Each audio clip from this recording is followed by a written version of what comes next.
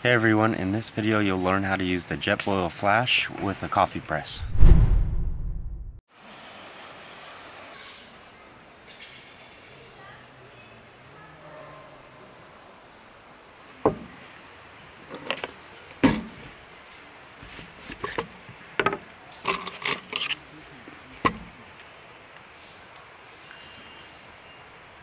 First you take your stand and set it up.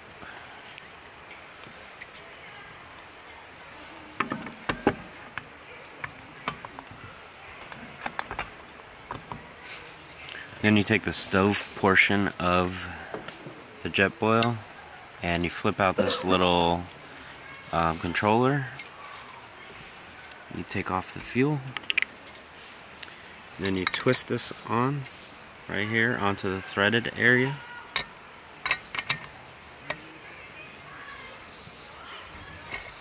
Okay, then you take your boiler and you line up the pivot divots here and you twist to the right and it's on. Then you fill up your water to the max point of two cups.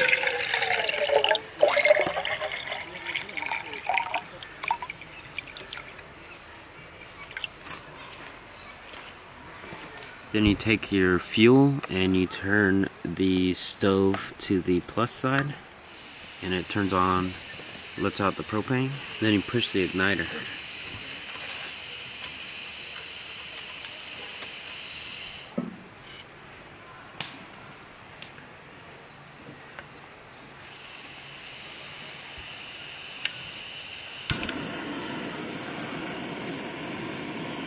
Then you put your lid on.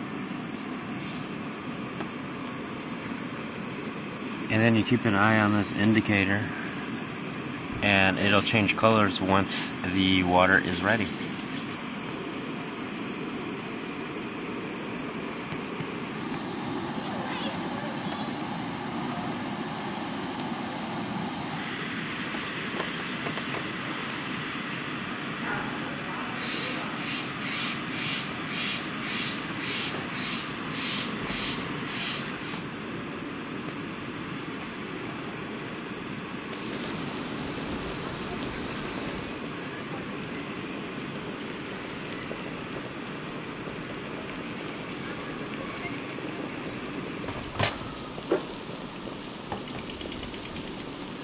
Then you turn off your heat.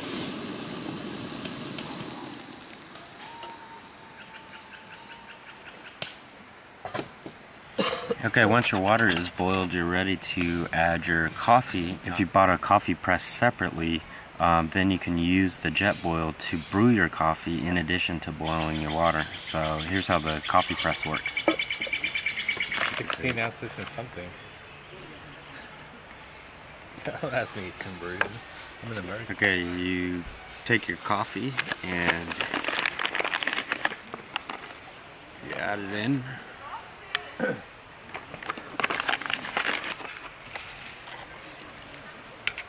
This is the little bar that you receive with your French press. So you screw these two little poles together. Like this. Okay, then you slide your coffee press pole through the top of the Jetboil. like this. And then you attach it to the coffee press filter. Like this. And you're all ready to go. So you just put it in, slide the lid down, uh, let your coffee brew for a minute and then when it's ready you slide this down. Okay after your coffee is brewed you just push the press down and it filters down all the coffee grinds to the bottom and you get your fresh coffee with no grinds in it. You take your cup and you pour your coffee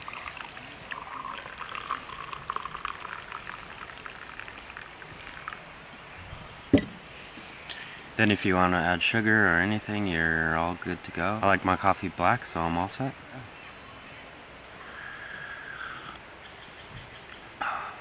Perfect.